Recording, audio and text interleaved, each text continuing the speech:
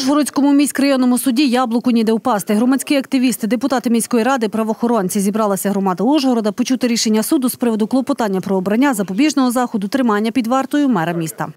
Ваша честь, е, значить, я своїми діями користувався виключно законом України про місцеве самоврядування і своїми посадовими Прокуратура області підозрює міського голову в шахрайстві та службовому підробленні документів під час реставрації архітектурної пам'ятки Совине гніздо. Офіційно про підозру оголосили 29 серпня. В залі суду клопочуть ще й про двохмісячний арешт міського голови. Використовуючи свій майновий стан, свої соціальні зв'язки та авторитет, може здійснювати вплив на свідків, в тому числі осіб, які перебувають в його безпосередньо підпорядкуванні, з метою спотворення, знищення або штучного створення доказів, які мають істотне значення для встановлення обставин кримінального правопорушення, задля подальшого уникнення кримінальної відповідальності або з метою переховування від слідства.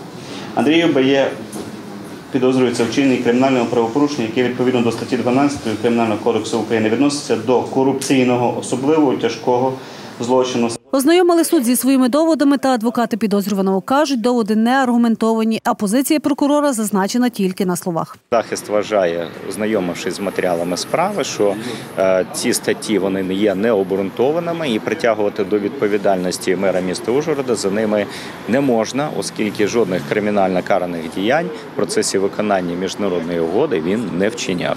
І в суді стороною захисту також було додано відповідну експертизу, яка вказує про відсутність будь-яких матеріальних збитків, які би були спричинені як державі, так і міській громаді. До сих пір грантова угода виконується, зауважень ніяких ні у кої, ні в жодної сторони немає.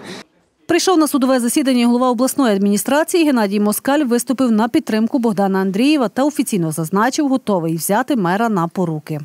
Я написав, що я попереджений і знаю, як юрист по освіті, за всі політичні, моральні і юридичні наслідки, які буду я нести, якщо взятий за мною на поруки не явиться до слідчого, слідчий є тут, прокурор є тут, значить, і або не явиться до суду, значить, я за це у своєму е, письмовому написав, що я попереджений, що я буду притягнутий до відповідальності, якщо Вам це відомо і мені це так? відомо.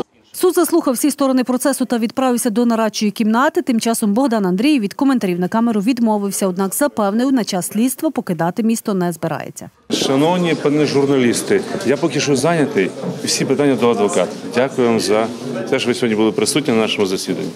Слідчим суддею встановлено ухвалу клопотання прокуратури задовільнити частково. Відтак до підозрюваного застосовано запобіжний захід у вигляді тримання під вартою та з визначенням застави в розмірі 440 тисяч гривень. Адвокати мера наголосили, з рішенням не погоджуються, відтак подаватимуть апеляцію. Нагадаємо, що в лютому до суду скеровано обвинувальний акт щодо засновника фірми та його інженера з технічного нагляду. Їх обвинувачують у привласненні та розтраті 6,5 мільйонів гривень коштів громади Ужгорода та грантових організацій, які були виділені на реконструкцію совиного гнізда, пам'ятки національного значення. Наразі правоохоронці вивчають причетність у справі і Богдана Андрієва.